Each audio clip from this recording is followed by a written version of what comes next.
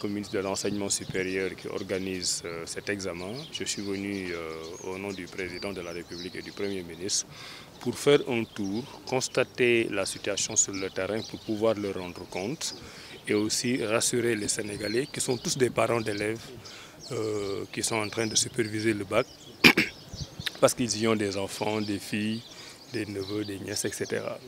Alors nous avons fait trois grandes étapes en sachant que l'étape de Karumassar en constitue deux parce qu'ici nous avons visité euh, le lycée de recasement, excusez-moi, et puis euh, le lycée franco-arabe.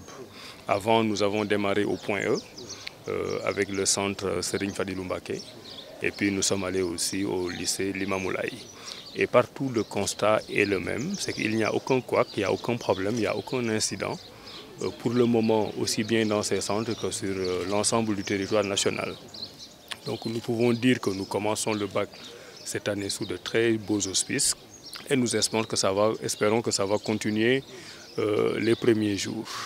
Le taux de présence est assez intéressant. On vous a donné les statistiques ici autour de 98% de présence. C'est la même chose pratiquement au niveau national. Vous savez, depuis deux ou trois années, on a des résultats très intéressants, autour de 50-51%.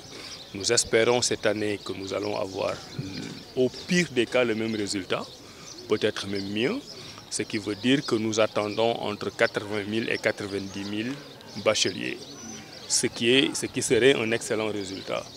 Nous, dans notre mode de management, nous ne considérons pas que l'échec est un bon indicateur de la qualité de l'enseignement et des examens. À notre avis, quand l'enseignement est bien fait par nos éminents professeurs, les élèves moyens qui comprennent doivent pouvoir passer. Donc 50% de réussite au bac, ce n'est pas une performance. Nous espérons pouvoir faire mieux. Parce qu'il faut savoir qu'à chaque fois qu'un élève échoue, c'est une perte sèche pour l'État du Sénégal. Et c'est un échec de l'État du Sénégal. Parce que quand vous investissez sur quelqu'un du primaire au bac, 13 années si je ne m'abuse, et qu'ils doivent sortir de l'école parce qu'il n'a pas réussi en examen, c'est le système qui s'effondre. Ce n'est pas l'échec de l'élève, c'est l'échec du système.